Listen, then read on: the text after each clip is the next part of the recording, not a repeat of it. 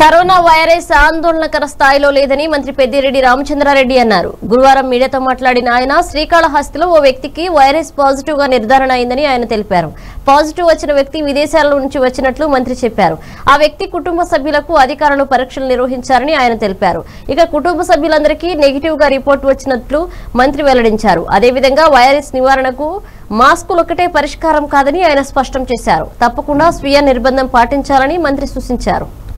Relation case అది కూడా అతను యూకే నుంచి చెన్నై వచ్చి అక్కడి నుంచి కాలాసికి రావడం మరి ఇంట్లో అంతా కూడా ఆయన తిరగడము ఊర్లో కూడా తిరగడం అంతా చేశాడు. మరి అవన్నీ గమనించిన తర్వాత అతన్ని ఐసోలేషన్లో మన గు హాస్పిటల్లో పెట్టడం జరిగింది. వారి బంధువులందరికీ కూడా పరీక్షలు చేసిన తర్వాత వారికి ఏ ఇది సస్పెక్షన్ లేదని చెప్పి వాళ్ళు క్వారంటైన్లో పెట్టడం జరిగింది.